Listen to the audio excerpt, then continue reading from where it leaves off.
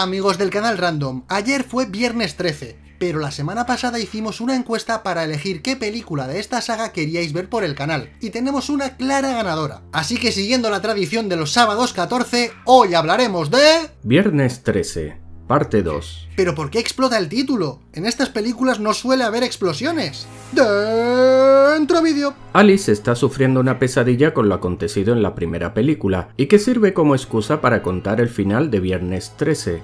Menuda excusa más cutre, ¿eh? Seis minutos que habéis aprovechado para resumir cómo acababa la primera película. Pero bueno, si queréis ver el resto de vídeos de errores de la saga, pausa del vídeo y pinchad aquí. Alice recibe una llamada telefónica, pero no responde nadie. Se supone que ha sido Jason, el cual no sabemos cómo ha averiguado el número de teléfono de la chavala. La chica escucha un ruido en la cocina y alguien del equipo técnico le tira un gato por la ventana. De repente vemos que ya no lleva el picahielos. Suponemos que lo habrá dejado en la alacena que tiene detrás. Pues no, lo tiene Jason no sabemos cómo y con él mata a la chavala. Por cierto, ¿cómo sabía el rebozapalillos este dónde vivía Alice? ¿Lo adivinó o es que el guionista se piensa que somos tontos? Después de la explosión a lo Michael Bay, vemos a Jeff y Sandra llamando por teléfono a su amigo Ted, pero la grúa se lleva su vehículo y los chavales salen corriendo. Jeff colgó el teléfono antes de perseguir a la grúa, pero al cambio de plano, el teléfono está descolgado. ¡Realismo! Parece ser que lo de la grúa era una broma de su amigo Ted, con el cual se dirigen a un campamento junto al lago. Se encuentran un tronco en la carretera y los chicos lo mueven. Mientras tanto, Sandra camina varios pasos y... ¡Vaya! ¡Qué casualidad! Se encuentra un cartel de Crystal Lake. Nada forzado, ¿verdad?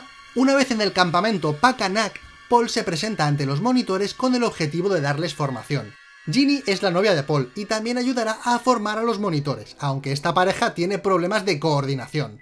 Por la noche Paul le cuenta a sus alumnos la historia de Jason. Por lo visto lo ocurrido en Crystal Lake ocurrió hace 5 años y, según cuenta, Jason sigue vivo. Aunque esto es increíblemente forzado. ¿Por qué la madre asesinaba a campistas random si su hijo seguía vivo? ¿Y por qué Jason no ayudó a su madre en la primera película? ¿Y por qué el niño se pasó toda su vida viviendo en el bosque en plan Tarzán? Se lo habría podido llevar su madre a casa, ¿no? En fin, el hecho de que Jason siga vivo fue una treta argumental de las malas para hacer secuelas. ¡Eh, canal random! Yo he visto un vídeo en YouTube donde cuentan todo esto y tiene todo el sentido del mundo.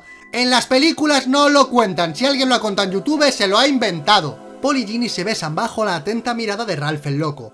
Pero a ver si sois capaces de ver el error de esta escena. ¡Música de Tetris!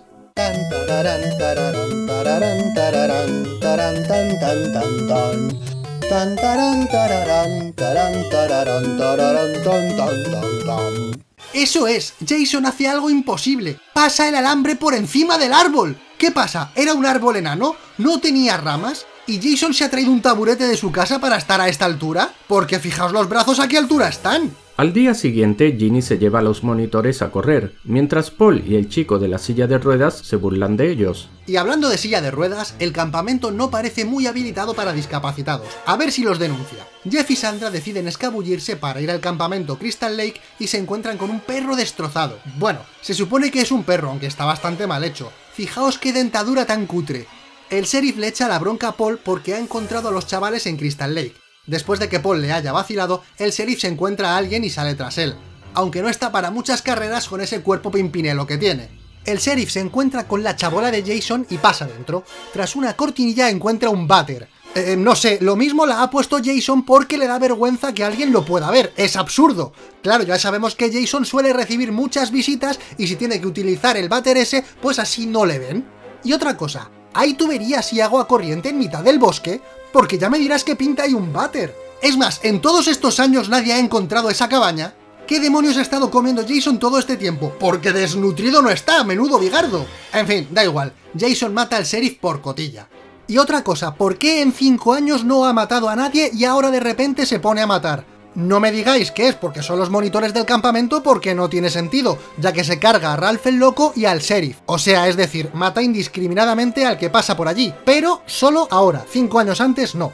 Y lo más importante de todo, ¿por qué solo tiene un agujero en el saco de patatas? ¿Tiene complejo de pirata o cómo va esto? Joder, macho, hace un agujero para los dos ojos, que eso es malísimo para la vista. Paul y Ginny se llevan a unos cuantos chavales de fiesta, aunque casi mueren con unas ramas así que en el campamento se quedan 6 monitores. Como Terry no le hace caso, Scott se pone a bailar con su perro. pero vemos que el color del lazo es distinto según el plano. ¿Cómo, cómo demonios es posible hacer esto? ¿Cómo es posible? Si no hay que cambiarle el lazo, no hay que hacer nada. Es que, es que, es que no me jodas, esto lo han tenido que hacer a posta, no le encuentro una explicación. En fin, Terry va en busca de su perro, pero cambia de idea y decide darse un baño en pelotas. Lo raro es que antes de entrar al agua tiene el pelo mojado. Eh, canal random, eso es porque han repetido la toma varias veces. Pues que se saque el pelo entre toma y toma, es así de sencillo.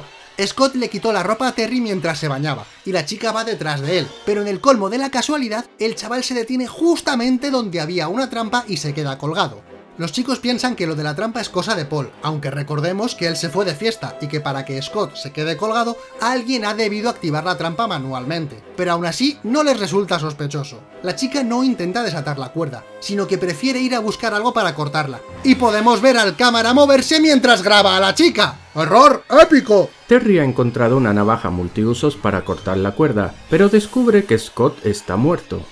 Mientras tanto, Paul y compañía siguen ahí de parranda y Ginny comienza a divagar diciendo que el pobre niño vio cómo su madre moría decapitada. A ver, borrachina, vamos a ver. A Jason lo tiraron al lago 20 años antes. Ya no era un niño cuando decapitaron a su madre, alma de cántaro. Solo falta que empieces aquí a ver metáforas y simbolismos. Bien, ¿qué os parece? Que estás borracha.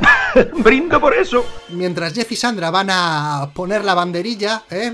Comienza una tormenta, lo cual es raro, ya que antes vimos que el cielo estaba totalmente despejado. Jason mata a Mark y luego hace una brocheta con Sandra y Jeff.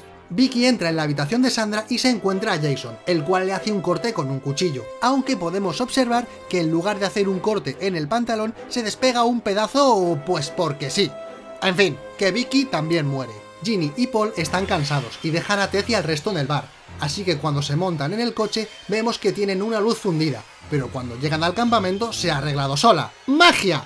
Jason es un tío muy ordenado y se lleva los cadáveres escalera abajo. Lo que no sabemos es si ha pasado la fregona, porque cuando llegan Ginny y Paul no ven sangre en los escalones.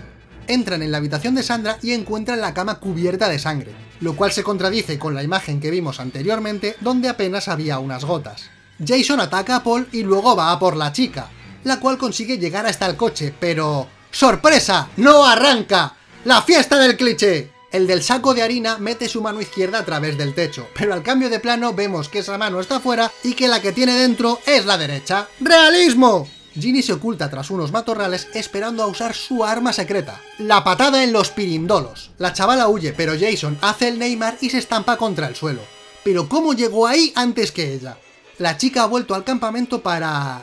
¿Esconderse debajo de una cama? ¿Qué podría salir mal? No veo fisuras en su plan. Ginny sale de su escondite y Jason se vuelve a estampar en el suelo por subirse a una silla, momento que aprovecha la chavala para huir de nuevo, pero cuando se levanta Jason, vemos que la silla está en otro sitio y que ha desaparecido la horca.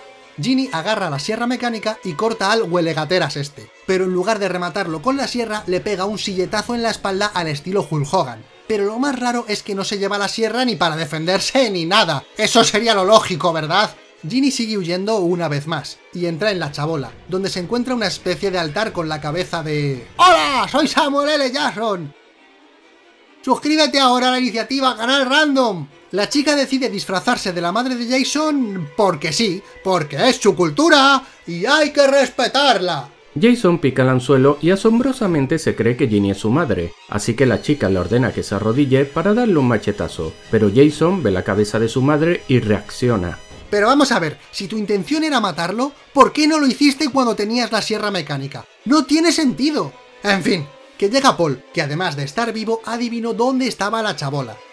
Ginny consigue darle un machetazo al del saco papas, el cual parece que muere. Paul se lleva a su novia de vuelta al campamento. ¿Pero por qué no te la llevas a un hospital? ¿No ves que está herida? De repente Jason aparece por la ventana y se lleva a la chica aunque esto parece ser un sueño, ya que al día siguiente se llevan a la chica en una ambulancia, y tanto Paul como Jason han desaparecido. Vamos a ver, ¿en qué momento se quedó dormida? Fin. Este vídeo lo hemos montado en nuestro canal de Twitch, Pimpinelo Canal Random. En el cual editaremos cada semana el errores de películas de los sábados. Así que, si queréis saber cómo montamos nuestros vídeos, hacernos alguna pregunta, proponernos alguna película para hacerle errores o simplemente ver gameplays o hablar con nosotros, aquí os dejamos la programación semanal para que podáis pasaros a vernos y si os gusta podéis seguirnos, que también es gratis. Recordad que si os ha gustado el vídeo, dadle un like. Y si no conocías el canal, suscríbete ahora, que es gratis. パパロホール